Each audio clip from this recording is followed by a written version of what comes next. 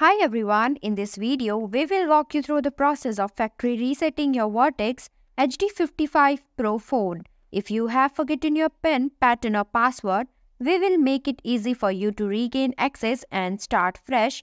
Let's get started.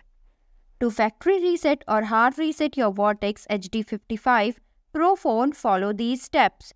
Power off the device, make sure your Vortex HD55 Pro is completely turned off.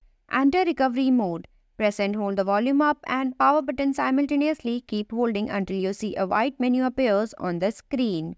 Select recovery mode. Use the volume up button to navigate to recovery. Press the volume down button to select it. Access Android recovery menu. Wait for the fallen Android no command screen to appear. Hold the power button and quickly press the volume up button to access the Android recovery menu. Wipe data or factory reset. Use the volume buttons to scroll down to wipe data or factory reset. Press the power button to select it. Confirm the action by selecting factory data reset. Complete the reset. Once the data wipe is complete, you will see a confirmation message. Select reboot system now to restart your phone.